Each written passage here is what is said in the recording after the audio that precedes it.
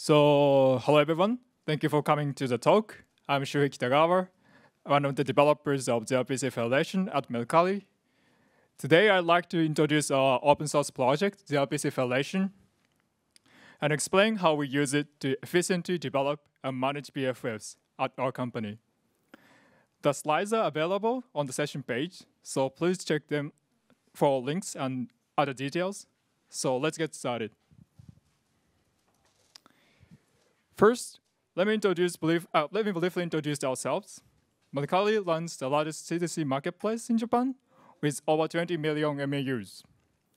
We adopted our microservice architecture early on, and we run hundreds of microservices in our environment. We use the gRPC quite extensively for inter-service communication. As we have a number of microservices, we began developing a monolithic BFF to deliver optimized responses to clients. However, as more and more microservice teams made changes to the BFF, it grew rapidly, ownership became um, ambiguous, and the single platform team got overwhelmed by the maintenance costs. So to address this issue, we started a BFF the architecture project and decided to break down the monolithic BFF. The goal was to have each microservice team create and manage their own BFFs on, based on their responsibilities. However, this new structure introduces the cost of creating and managing the BFF, BFFs by the microservice teams themselves. So to alleviate the burden of developing and managing the we decided to develop an open, open source software called gRPC Federation to automate as much of the process as possible. In the new architecture, the platform team is st still primarily responsible for managing the BFFs as before, but gRPC Federation makes this process much more efficient. I'll, I'll explain it in more detail later how gRPC Federation helps with BFF development and management. So what is gRPC The gRPC Federation is an open source software to automatically generate gRPC servers by writing custom DSL in protocol buffers. It can be, it can be accessed from the following link. It is implemented in Go and all the generated code is also in Go. It has a plugin system using WebAssembly to implement platform-specific features. With gRPC Federation, developers can create BFFs by writing only the minimal necessary logic, while the gRPC handles the rest. For example, when you develop a BFF, you'd want to send requests to backend microservices as concurrently as possible, right? If you use gRPC Federation, it automatically analyzes dependencies between gRPC methods and makes the call concurrently as much as it can. It also automatically sets up essential features for modern applications, such as distributed tracing using OpenTelemetry and logging. Also, gRPC Federation streamlines the management of BFFs. With gRPC Federation, since developers create BFFs using the DSL, the dependencies of the generated code, including libraries and external services, can be predetermined. As a result, since it is guaranteed that there is no unnecessary middleware or access to the file system, the platform team can build and deploy all BFFs using common platform fr framework without worrying about differences between them. Additionally, because there are no unknown dependencies, it becomes easier to maintain a secure operating environment for the BFFs. Since the differences between the BFFs are small, the management team can use the same platform features, such as deployment pipeline and monitoring for all BFFs. This allows a small platform team to efficiently manage a large number of BFFs without focusing too much on each individual one.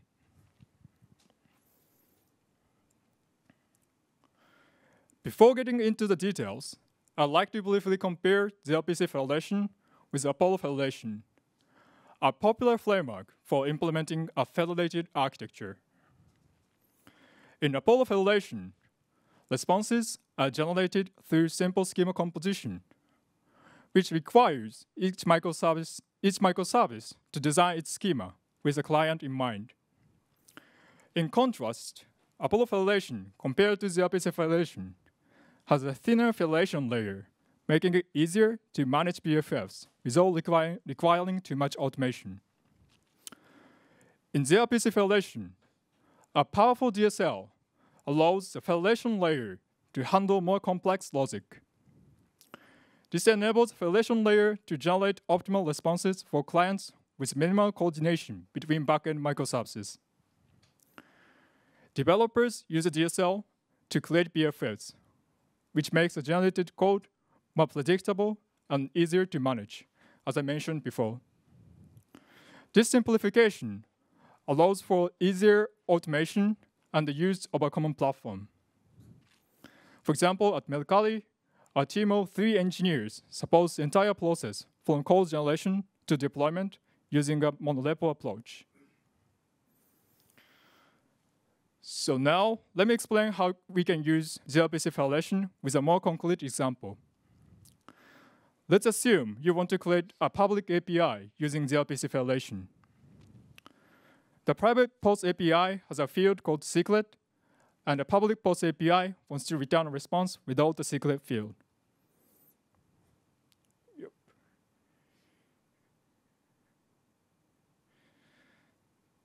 So first, Let's check the schema of the private post API.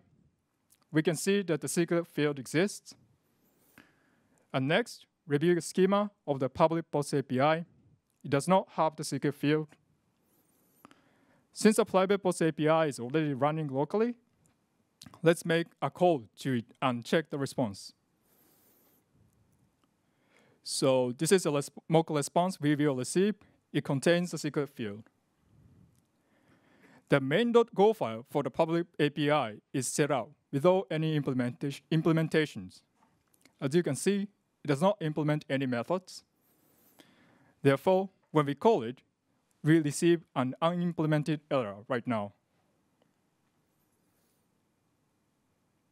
Yes, unimplemented error. Now let's go ahead and edit the schema of the public post API.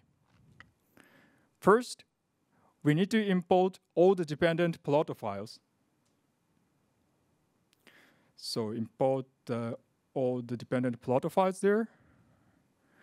Next, use the gRPC Federation service option to indicate that this service will be created using gRPC Federation. Then use the message option to call the private post API and assign the response to a variable named p. Finally, specify how to bind each field of the get post response message. We use a variable p we just defined. You can see that p.id is bound to the id field, and p.title is bound to the title field. Now let's build the gRPC server using gRPC Federation. This time, we will use buf for the build process. When we run buf generate, we see that a new file named post grpc federation pb.go is created.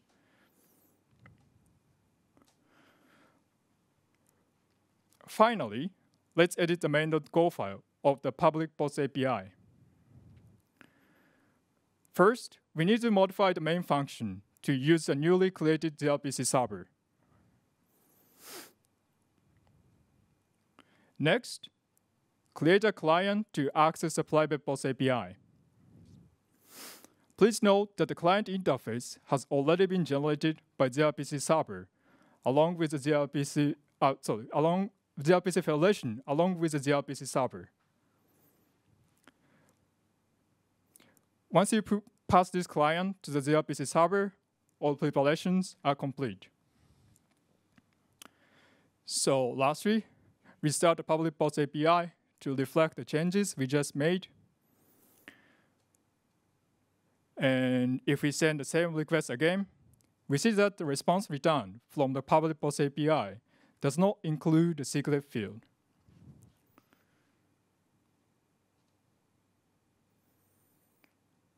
Oof. Oof. I think the slide is gone better. Um, okay, uh, I think there was a slide there, but uh, let me explain. There, there are uh, three pers important perspectives of the uh, gRPC Federation. One is expressivity, the other one is uh, extensibility, and the last one is productivity. So let me explain it one by one. So uh, the DSL of gRPC Federation has high expressivity and can represent complex logic. And this is an example introduced in the demo where the response of the gRPC method is assigned to a variable named p. And then it is mapped to each field. Here, you don't have to grasp all the details, but uh, I want you to get a sense of how to write DSL. Besides the gRPC method calls, the DSL of the gRPC Federation supports various features, such as, such as uh, required for service development, such as retries, timeouts, handling, and conditional branching. I'm not going to introduce them one by one, but if you are interested, please refer to the documentation. One of the key features of DSL is the CEL expression, so let me explain it in a bit more detail. So CEL is a language created by Google designed specifically for evaluating expressions. The specification is concise and well-defined. It can be easily and it can be easily extended. It has already been successfully used in various projects, such as Kubernetes CRDs and protoc-gen-validate. It also offers a high compatibility with protocol buffers. For instance, a CEL object can be represented as a protocol buffers message. The lines below briefly describe how to use CEL in gRPC Federation. The first line performs a simple calculation, and the second line uses the starts with method. Both bind the results of the expressions to the corresponding field. Even though we provide various features through our DSL, we don't believe we can cover all use cases with them. So to ensure extensibility, one feature we offer is a custom resolver. With a custom resolver, you can implement domain-specific logic or use third-party libraries in Go. The example below sets a custom resolver field to true and binds the also field using Go. However, to ensure custom, to use custom resolvers, users must maintain both protocol buffers and Go code Therefore, we recommend avoiding their use if possible. A better alternative to the custom resolver is our WebAssembly plugin system. We have already prepared CEL APIs for standard operations like time manipulation. However, if these are not sufficient, you can add your own CEL APIs using WebAssembly. By using the plugin system, you can share features among multiple services, and implement all logic using protocol buffers. For instance, the example below illustrates our CEL APIs for retrieving the current user's ID. So uh, why do we use WebAssembly for our plugins? First, WebAssembly is robust and does not clash the host. For example, if you use Gold standard plugin system, if the plugin crashes, it can cause the host to crash as well. However, this does not happen with WebAssembly. Secondly, WebAssembly is secure, and the host can easily restrict plugin capabilities, such as network access and file access. This means with, even with plugins, gRPC Federation maintains its advantage in preventing unexpected behavior in BFFs. Lastly, WebAssembly is portable and can run anywhere once it's built. By embedding the built WebAssembly in a, into a Go program, you can preserve the advantages of a single binary, even using plugins. We also provide various tools and documentation to improve developers' productivity. We have created a language server to help developers write the DSL, and it can be used with VS Code and, and the JetBrains plugin if desired. We also offer a linter and a standalone generator for quick use of gRPC Federation. We provide detailed demo documentation to showcase real-world use cases of gRPC Federation, along with API references.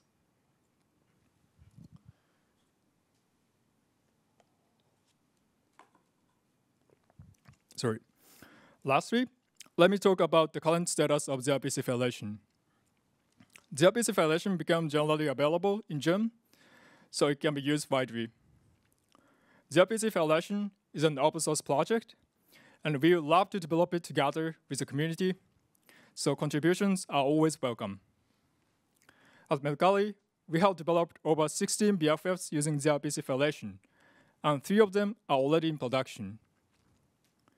It currently supports more than 100, 100 gRPC endpoints.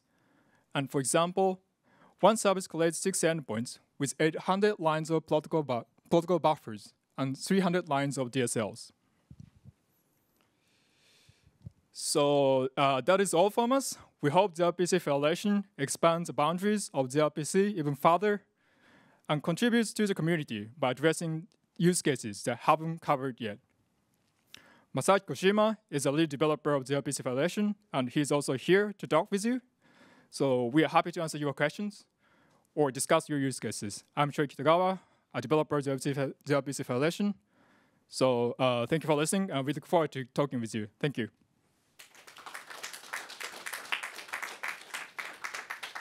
Questions?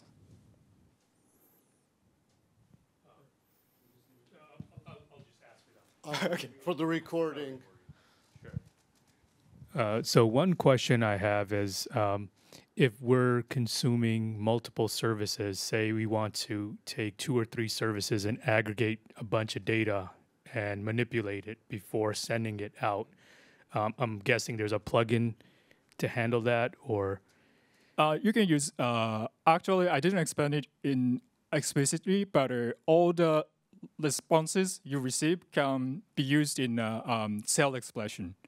Okay. So example, in the example, the, the, the variable p is an expression, so, so we bind the response to the variable p, and you can use it in the CEL expression. So you can bind the variable p to the each field okay. as you wish, yeah. Thank you. And uh, you can call multiple like APIs in the message option, so that's how we handle it, yeah. Okay. Thank you. Sure. Thank you. Any questions? Looks good.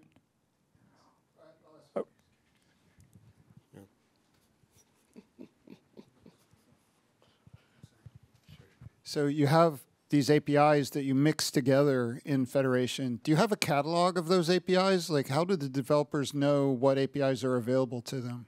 Uh, in our company, we uh, manage all the protocol buffers in Monorepo, so that's how people know how to use each um, APIs. But I think that depends on the companies, yeah. But uh, that's at least how we manage all the. Do all- these APIs that you produce go back in that monorepo so they could be remixed? I mean, I, I don't think you want to have federations of federations, but Mhm. I suppose that's possible, right? Yeah. Uh, sorry, would you, would you repeat your question? Well, so when I use federation, I'm basically creating a new API, that is correct. Yeah. and someone could federate that. Uh, technically, yeah, that I think that's possible. That's possible, but uh, right now I think I've never seen the use cases. Yeah, but uh, if you try to do that, I think uh, it's possible. Yeah. Right. It would just be slower, I guess. Mhm. Like yeah, at some I, point I don't think it's slow. uh, Yeah. optimal in terms of like uh, um, performance. Yeah, thank you. So I think that is all. Uh, question? No. Okay, uh, we're gonna stay here a while. So if you have like questions, like uh, we want to ask personally or discuss your use cases, so please feel free to reach out to us. Yeah, thank you so much. Yeah, thank you. Thank you.